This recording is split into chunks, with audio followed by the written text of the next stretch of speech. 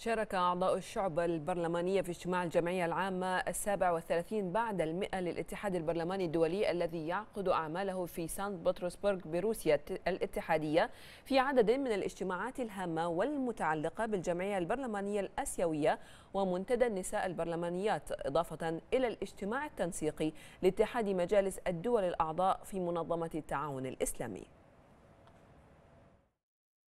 خلال مشاركته في الاجتماع التنسيقي للجمعية البرلمانية الآسيوية أكد سعادة السيد جمال محمد فخرو النائب الأول لرئيس مجلس الشورى وأعضاء وفد الشعبة البرلمانية رغبة مملكة البحرين وتصميمها على تعزيز التعاون مع دول آسيا والإسهام في الجهود الإقليمية والعالمية التي تهدف لتعزيز ثقافة السلام وحماية حقوق الإنسان وسيادة القانون. وخلال الاجتماع جرى تبني موقف موحد حول البنود الطارئة المطروحة على جدول أعمال الجمعية العامة للاتحاد البرلماني الدولي.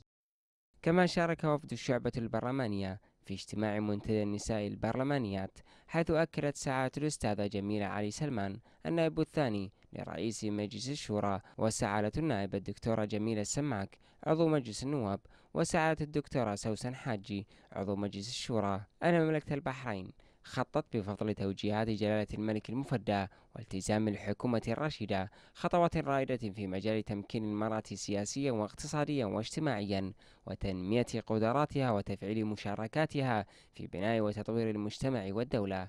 من خلال مجموعة من البرامج والتشريعات والخطوات التي أسهمت في تعزيز دور المرأة البحرينية. إلى ذلك شارك سعادة النائب محمد الجودر وسعادة النائب عادل حميد.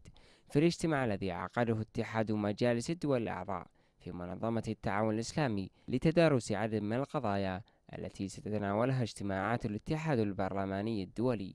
حيث بين أن الاجتماع أكد على ضرورة تفعيل العمل البرلماني الإسلامي بما يحقق تطلعات وآمال الشعوب الإسلامية وحل قضاياها المختلفة وعلى رأسها وضع حد للانتهاكات الصارخة لحقوق الإنسان ضد أقلية الروهينجا في مينمار.